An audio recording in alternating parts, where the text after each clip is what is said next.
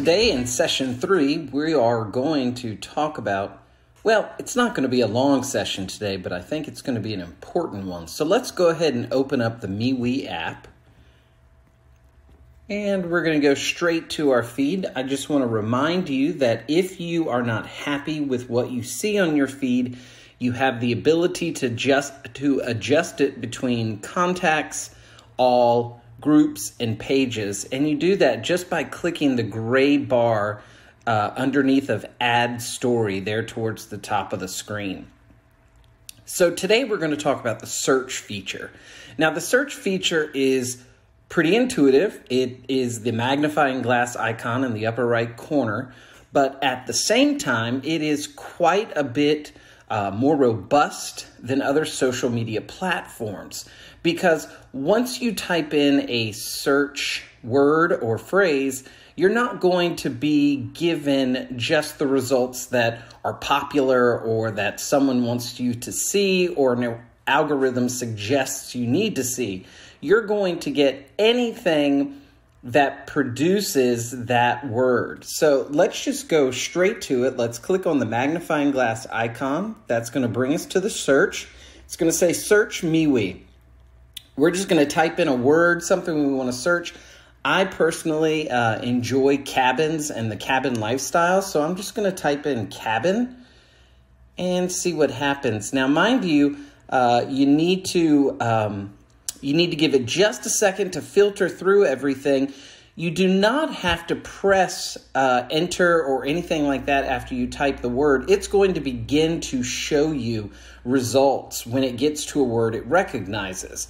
So you'll see right now that uh, just having typed in the word cabin, I am first delivered members. Then I have pages, I have groups, I have chats, I have posts.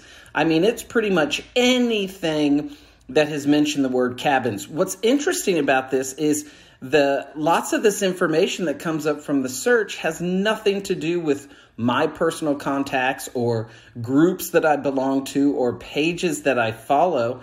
They are just results for the search term cabin. So you can see also that uh, it highlights the word in blue, the word that you're searching for. It highlights it in blue so that you can see where that word was found and why that relationship was made. Now, obviously, uh, in searching members, it's not just three members that have cabin somewhere. Uh, so you can click on View All, which is in the upper right corner. Click on View All, and it's going to show you literally every contact that somehow has the letter C A B I N in that order in their name. Quite a few. Now, if you want to go back to your search results, you're just going to click that uh, little left arrow. Some people may call it alligator jaws, something of that nature, and it's going to take you back. And you're going to see your pages and your groups. So maybe I want to see what groups I could belong to if I want to talk about uh, cabins or cabin building.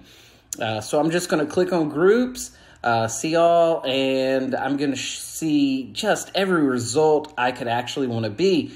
I can apply to join the group or I can join the group. Uh, it's just really robust.